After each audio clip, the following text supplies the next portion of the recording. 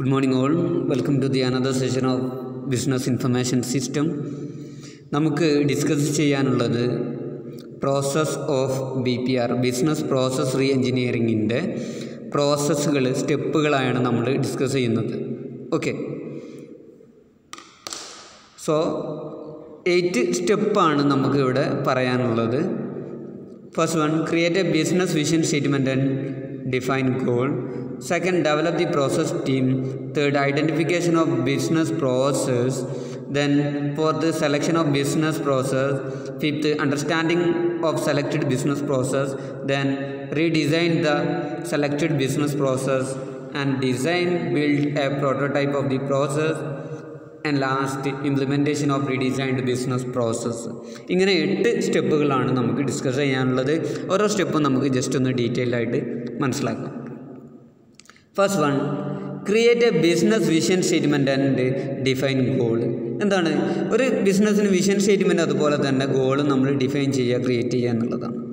അല്ലേ? നമ്മൾ എന്തുകൊണ്ടാണ് ബി പി ആർ ഇംപ്ലിമെന്റ് ചെയ്യുന്നത്? അതിന്റെ ഗോൾസ് അല്ലേ? എന്ത് ഗോൾസാണ് അതിനുള്ളത്? അതുപോലെ തന്നെ നമ്മൾ ഫ്രെയിം ഔട്ട് ചെയ്യേണ്ടത് എന്ത് ഗോളാണ് നമ്മൾ ഫ്രെയിം ഔട്ട് ചെയ്യേണ്ടത്? അല്ലേ? അതാണ് നമ്മൾ ആദ്യത്തിൽ സെറ്റ് ചെയ്യേണ്ടത്. ഓക്കെ അതിന് നമ്മൾ രണ്ട് കാര്യമാണ് ശ്രദ്ധിക്കേണ്ടത്. The preparation and communication of the case for action and vision statement അല്ലെ? രണ്ട് കാര്യങ്ങളാണ് നമ്മൾ അതിൽ ശ്രദ്ധിക്കേണ്ടതായിട്ടുള്ളത്. First one case for action then second vision statement എന്താണ് കേസ് ഫോർ ആക്ഷൻ കൊണ്ട് ഉദ്ദേശിക്കുന്നത്? അല്ല നമ്മൾ ബി പി ആർ എപ്പോഴാണ് ഇംപ്ലിമെന്റ് ചെയ്യുക? അല്ലെ? കമ്പനിക്ക് ലോസ് ഉണ്ടാകുന്ന സമയത്താണ് നമ്മൾ ബി പി ആർ ഇംപ്ലിമെന്റ് ചെയ്യുക. അല്ലെ ആ കമ്പനി അതിന്റെ ഗോൾസ് ഒബ്ജക്റ്റീവ്സ് ഒന്നും അച്ചീവ് ചെയ്യാൻ ചെയ്യാത്തപ്പോൾ അല്ലേ ആ സമയത്താണ് നമ്മൾ ബി ബി ആർ ഇംപ്ലിമെന്റ് ചെയ്യുക. അപ്പോൾ ആ ഒരു കറണ്ട് സിറ്റുവേഷൻ എന്താണ്? അതുപോലെ തന്നെ എന്താണ് പ്രോബ്ലംസ് എന്നുള്ളതൊക്കെയാണ് നമ്മൾ നോക്കുന്നത്. ഓക്കെ അതാണ് കേസ് ഫോർ ആക്ഷൻ കൊണ്ട് ഉദ്ദേശിക്കുന്നത്. എന്താണ് കറണ്ട് സിറ്റുവേഷൻ അതുപോലെ തന്നെ എന്താണ് ഏതൊക്കെ പ്രോബ്ലംസ് ആണ് കമ്പനി ഫേസ് ചെയ്യുന്നത് എന്നുള്ള കാര്യങ്ങളൊക്കെയാണ് നമ്മൾ അതിൽ നോക്കുന്നത്. അത് ഡിസ്ക്രൈബ് ചെയ്യാനാണ് ഈ കേസ് ഫോർ ആക്ഷൻ കൊണ്ട് ഉദ്ദേശിക്കുന്നത്. കറണ്ട് സിറ്റുവേഷൻ നോക്കുക അതുപോലെ തന്നെ പ്രോബ്ലംസ് ഒക്കെ ഒന്ന് നോക്കുക. Okay then second the vision statement അല്ലേ ബി പി ആർ ഇംപ്ലിമെന്റ് ചെയ്താൽ നമ്മൾ എന്തൊക്കെ അച്ചീവ് ചെയ്യണം? അല്ലേ ഒരു ഔട്ട്ലൈൻ ക്രിയേറ്റ് ചെയ്യുകയാണ് ഇവിടെ ചെയ്യുന്നത്. ഈ കാര്യങ്ങളൊക്കെ അല്ലേ നമ്മൾ എന്തൊക്കെ കാര്യങ്ങളൊക്കെ ചേഞ്ച് ചെയ്താൽ എന്തൊക്കെ കാര്യങ്ങൾ നമുക്ക് നേടാൻ പറ്റും? ബി പി ആർ ഇങ്ങനെ ഇംപ്ലിമെന്റ് ചെയ്താൽ എന്തൊക്കെ കാര്യങ്ങൾ നമുക്ക് അച്ചീവ് ചെയ്യാൻ പറ്റും? എന്തൊക്കെ കാര്യങ്ങൾ നമ്മൾ അച്ചീവ് ചെയ്യും? എന്നുള്ളത് ഡിസ്ക്രൈബ് ചെയ്യുകയാണ് ഈ ഒരു വിഷൻ സ്റ്റേറ്റ്മെന്റ് കൊണ്ട് ഉദ്ദേശിക്കുന്നത്. അതാണ് ഫസ്റ്റ് ഫേസ് ഓക്കെ ജസ്റ്റ് എന്താണ്? ആ ബിസിനസ് വിഷൻ അതുപോലെ തന്നെ ഗോൾ നമ്മൾ ഡിഫൈൻ ചെയ്യുക അല്ലെങ്കിൽ വിഷൻ സ്റ്റേറ്റ്മെന്റ് നമ്മൾ ക്രിയേറ്റ് ചെയ്യുക എന്നുള്ളതാണ്. Okay then second develop the process team നല്ലൊരു എക്സ്പീരിയൻസ് ഉള്ള അല്ലെങ്കിൽ നല്ല എക്സ്പേർട്ട് ആയിട്ടുള്ള വ്യക്തികൾ മെമ്പേഴ്സ് ആയിട്ടുള്ള നല്ലൊരു ടീമിനെ ഡെവലപ്പ് ചെയ്യുക എന്നുള്ളതാണ് സെക്കൻഡ് സ്റ്റെപ്പ് ഇവരാണ് ബി പി ആറിന്റെ എന്റയർ പ്രോസസ്സിന്റെ ഉത്തരവാദികൾ ഓക്കെ സ്റ്റാർട്ടിങ് ടു എൻഡ് വരെ അവരാണ് ബി പി ആർ ലീഡ് ചെയ്യുന്നത്. എല്ലാ ഡിസിഷൻസും ബി പി ആറായിട്ട് ബന്ധപ്പെട്ടിട്ടുള്ള എല്ലാ ഡിസിഷൻസും എപ്പോൾ നടത്തണം എങ്ങനെ നടത്തണം എന്നുള്ള കാര്യങ്ങളൊക്കെ ഇവരാണ് തീരുമാനിക്കുന്നത്. അല്ലേ ഒരു ബി പി ആറിന്റെ അല്ലേ ടീമായിരിക്കും ആ ഒരു ഓർഗനൈസേഷന്റെ ബി പി ആർ പ്രോസസ്സ് കാര്യങ്ങളൊക്കെ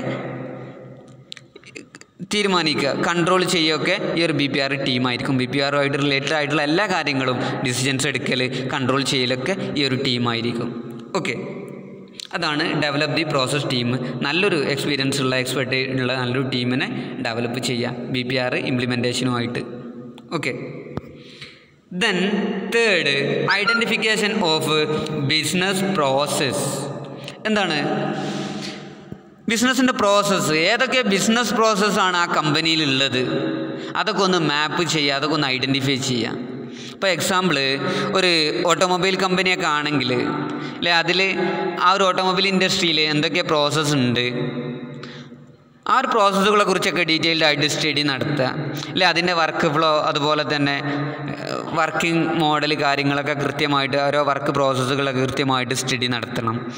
ഓരോ പ്രോസസ്സിന്റെ ലെങ്ത് എത്ര ഉണ്ട്? അല്ലെ? എത്ര സമയം എടുക്കുന്നുണ്ട് എന്നുള്ള കാര്യങ്ങളൊക്കെ നോക്കണം. അല്ലെ? വലിയ പ്രോസസ്സൊക്കെ എന്തെങ്കിലും ആണ് ആണെങ്കിൽ അതെന്ത് ചെയ്യുക? സബ് ഡിവൈഡ് ചെയ്യണം. അല്ലേ? വലിയ പ്രോസസ്സുകൾ ഉണ്ടെങ്കിൽ അതൊക്കെ ഒന്ന് അല്ലേ സബ് ഡിവൈഡ് ചെയ്ത് കൊടുക്കുക. അല്ലേ? അപ്പോൾ നമുക്ക് ഫൈനലൈസ് ചെയ്യാൻ പറ്റും നമുക്ക് മനസ്സിലാക്കാൻ പറ്റും. അല്ലേ എവിടെയാണ് പ്രോബ്ലംസ് ഉള്ളതെന്നൊക്കെ. അല്ലേ ഏതൊക്കെ പ്രോസസ്സിലാണ് പ്രോബ്ലം ഉള്ളതെന്നൊക്കെ നമുക്ക് മനസ്സിലാക്കാൻ പറ്റും. അതാണ് മൂന്നാമത്തെ സ്റ്റെപ്പിൽ identification of the business process ബിസിനസ്സിന്റെ പ്രോസസ്സുകൾ എന്തൊക്കെയാണെന്നുള്ളത് ജസ്റ്റ് ഒന്ന് ഐഡന്റിഫൈ ചെയ്യണം. Okay then fourth selection of business process ഏത് പ്രോസസ്സാണ് റീസ്ട്രക്ചർ ചെയ്യേണ്ടത് എന്നുള്ളത് മനസ്സിലാക്കുക. അത് സെലക്ട് ചെയ്യുക. ഏതൊക്കെ ഏത് പ്രോസസ്സാണ് ഇപ്പോൾ ഒരുപാട് പ്രോസസ്സ് നമ്മൾ ഡീറ്റെയിൽ ആയിട്ട് സ്റ്റഡി നടത്തി മൂന്നാമത്തെ ഫേസിൽ ഇല്ല? അതിൽ നമ്മൾ കണ്ടെത്തുകയില്ലാണ് അല്ലേ അങ്ങനെ കുറേ പ്രോസസ്സ് അതിലെന്ത് ചെയ്യുക ഏത് പ്രോസസ്സാണ് നമുക്ക് റീസ്ട്രക്ചർ ചെയ്യേണ്ടത് എന്നുള്ളത് സെലക്ട് ചെയ്യുക ഓക്കെ ഇത്ര കാര്യങ്ങളാണ് നമ്മൾ ഇന്ന് ഡിസ്കസ് ചെയ്തിട്ടുള്ളത്. ബാക്കിയുള്ളത് നെക്സ്റ്റ് ക്ലാസ്സിൽ ബാക്കിയുള്ള സ്റ്റെപ്പ് നമ്മൾ നെക്സ്റ്റ് ക്ലാസ്സിൽ ഡിസ്കസ് ചെയ്യും. Okay thank